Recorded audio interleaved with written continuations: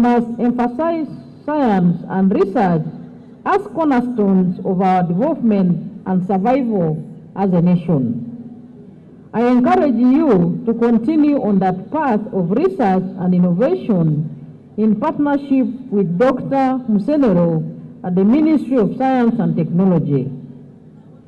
I noticed they are doing a good job when I visited their exhibitions during the Science Week at Kololo Ceremonial Grounds between 6 and 11th November 2023. In addition to emphasizing science and innovation, we as a country are focusing on East African integration and Pan-Africanism, which will ensure our continued survival and development as African people. I now would call upon the academic staff to put more emphasis on research and innovations so that the ranking of the university improves.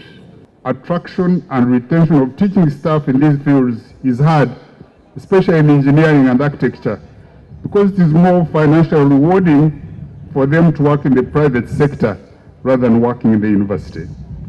I request government to increase our wage bill to enable us attract, recruit and retain more science, technology and engineering lecturers. bibeere byankubanga nfunye challenges nfunye ebisoomooza bingi. Mm, byetasobola kwinongola wanene. Naye ebisoomooza bibeire bingi. Aye nebaza katonda kubanga nkikoze.